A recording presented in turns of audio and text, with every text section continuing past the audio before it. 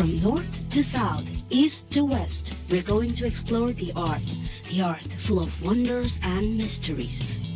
Welcome to Finding Earth. Lyme disease. Healthy is happy, but there are so many diseases around us. Today, we will get to know about Lyme disease. Lyme disease, also known as Lyme borreliosis, is an infectious disease caused by bacteria of the Borrelia type. The most common sign of infection is an expanding area of redness known as erythema migrans. It begins at the site of a tick bite about a week after it has occurred. The rash is typically neither itchy nor painful. Lyme disease is transmitted to humans by the bite of infected ticks of the Ixodes genus. Usually, the tick must be attached for 36 to 48 hours before the bacteria can spread.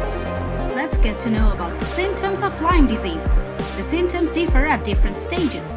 Lyme disease occurs in three stages early localized, early disseminated, and late disseminated. The symptoms you experience will depend on which stage the disease is in. Stage 1 Early localized disease, rash. From 3 to 30 days after an infected tick bite, an expanding red area might appear that sometimes clears in the center, forming a bullseye pattern. The rash, erythema migrans, expands slowly over days and can spread to 12 inches across. It is typically not itchy nor painful. This rash, erythema migrans, will disappear after 4 weeks. Stage 2 Early disseminated Lyme disease. Early disseminated Lyme disease occurs several weeks after the tick bite. Bacteria are beginning to spread throughout the body. This stage is characterized by flu like symptoms such as chills, fever, enlarged lymph nodes, sore throat, vision changes, fatigue, muscle aches, headaches. Stage 3 Late disseminated Lyme disease. Late disseminated Lyme disease occurs when the infection hasn't been treated stages 1 and 2. Stage 3 can occur weeks, months, or years after the tick bite. This stage is characterized by severe headaches. Bouts of severe joint pain and swelling are especially likely to affect your knees, but the pain can shift to other joints. Heart problems such as an irregular heartbeat, brain disorders, encephalopathy involving memory, mood, and sleep short-term memory loss, difficulty concentrating, mental fogginess, problems following conversation, numbness in the arms, legs, hands, or feet, eye inflammation, liver inflammation, severe fatigue, nausea and vomiting, neurological problems, weeks, months, or even years after infection, you might develop meningitis, temporary paralysis of one side of your face, numbness or weakness in your limbs, and impaired muscle movement. Contact your doctor immediately if you have any of these symptoms. Risk factors for Lyme disease include to spend time in wooden or grassy place.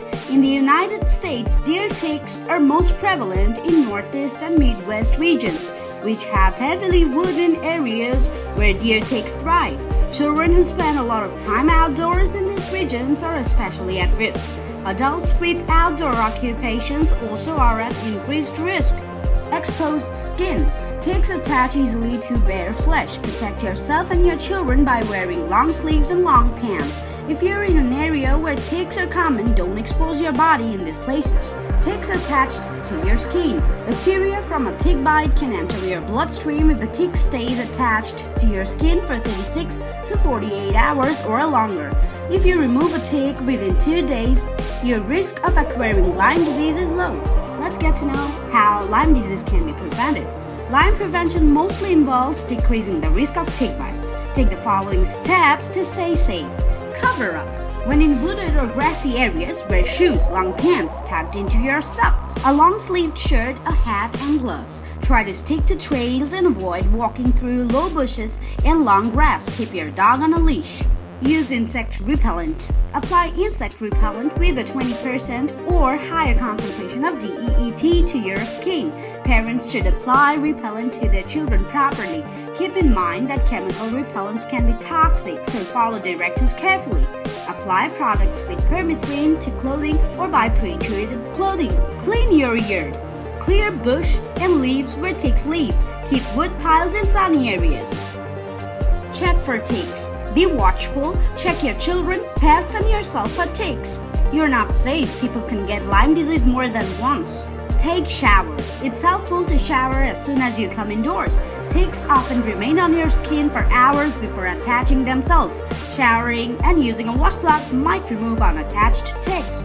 Remove a tick quickly. Gently grasp the tick near its head or mouth with a tweezer. Don't squeeze or crush the tick, but pull carefully and steadily.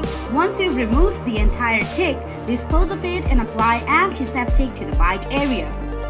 Now let's learn how Lyme disease is diagnosed. Blood test is most reliable a few weeks after the initial infection. When antibodies are present, the following tests are required. Number 1. ELISA enzyme-linked immunosorbent assay is used to detect antibodies against Borrelia burgdorferi. Number 2. Western blot can be used to confirm a positive ELISA. It checks for the presence of antibodies to specific Borrelia burgdorferi proteins. Number 3. Polymerase chain reaction PCR is used to evaluate people with persistent Lyme arthritis or nervous system symptoms. It is performed on joint fluid or spinal fluid. Treatments and drugs. Antibiotics are used to treat Lyme disease. In general, recovery will be quicker and more complete the sooner treatment begins. Oral antibiotics. These are the standard treatment for early stage Lyme disease. These usually include doxycycline for adults and children older than 8 amoxicillin or cefuroxime for adults, younger children, and pregnant or breastfeeding women. A 14 to 21 day course of antibiotics is usually recommended, but some studies suggest that courses lasting 10 to 14 days are equally effective intravenous antibiotics. If the disease involves the central nervous system, your doctor might recommend treatment with an intravenous antibiotic for 14 to 28 days. This is effective in eliminating infection, although it may take you some time to recover from your symptoms. Intravenous antibiotics can cause various side effects including a lower white blood cell count, mild to severe diarrhea or colonization, or infection with other antibiotic resistant organisms unrelated to Lyme. After treatment, a small number of people still have some symptoms, such as muscle aches and fatigue. The cause of these continuing symptoms, known as post treatment Lyme disease syndrome, is unknown, and treating with more antibiotics doesn't help. Some experts believe that certain people who get Lyme disease are predisposed to develop an autoimmune response that contributes to their symptoms. More research is needed. Bismacine. The Food and Drug Administration warns against the use of bismacine, an injectable compound prescribed by some alternative medicine practitioners to treat Lyme disease. Bismacine, also called chromacine, contains high levels of the metal bismuth. Although bismuth is safely used in some oral medication for stomach ulcers, it's not approved for use in injectable form or as a treatment for Lyme disease. Bismacine can cause bismuth poisoning, which may lead to heart and kidney failure. Thanks for watching. This is your host, Tracy Gomez. Please subscribe. See you in my next video.